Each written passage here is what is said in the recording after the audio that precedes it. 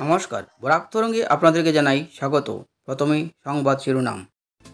সোমবার দেশ জুড়ে ঈদ উল ফিতর পালন করা হবে। লেবুরবন্ধ কালী মন্দিরের সীমানা দেওয়ালের কাজের ভিত্তিপ্রস্তর করলেন বিধায়ক কিশোরনাথ। বকেয়া কিস্তিগুলো মুকুব করার দাবি তুলল দোলাইয়ের বন্ধন ব্যাংকের আত্মসহায়ক দলগুলো। এবারে বিস্তারিত সংবাদ।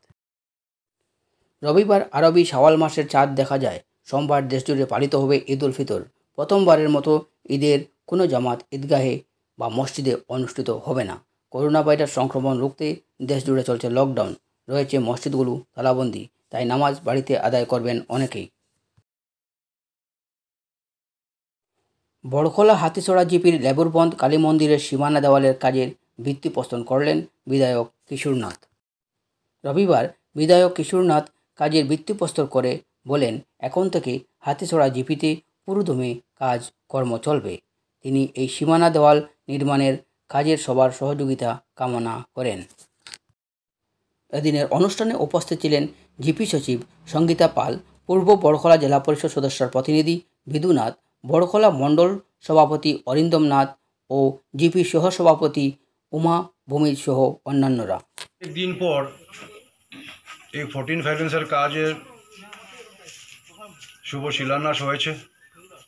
এই কাজগুলো আজ থেকে তাপাঙ্গের আলমবাগ প্রথম খণ্ডে দুষ্কৃতীরা এক মহিলার বাসগৃহ জ্বালিয়ে দেয়। ঘটনাটি ঘটে গত উনিশ মে।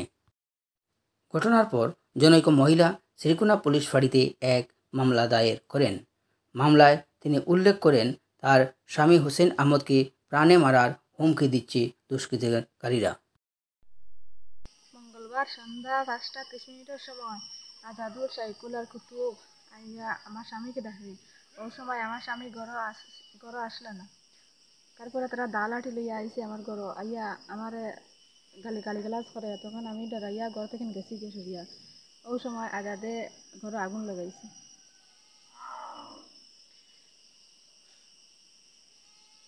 তো এরপরে বিশ বিশ তারিখ বিশ তারিখ আমরা কেস দিছি গিয়া তার সিগুনা আউটপোস্ট এখনও পর্যন্ত থানায় কোনো অ্যাকশন লইছে আজকে তিন দিন হয়ে আছে, এখনও পর্যন্ত থানায় কোনো অ্যাকশন লইছে আর আমরা ঘরের কিছু জিনিসপত্র রইছিল আমরা টাকার জায়গা নাই, এই জন্য আমরা থাকছি না।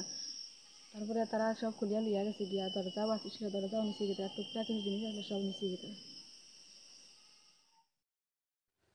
দোলাইয়ের বেশ কয়েকটি আত্মসহায়ক দলের সদস্যরা একজোট হয়ে বন্ধন ব্যাংকের ক্ষুদ্র লোনের সাপ্তাহিক কিস্তি মকুব করার দাবি তুলেন।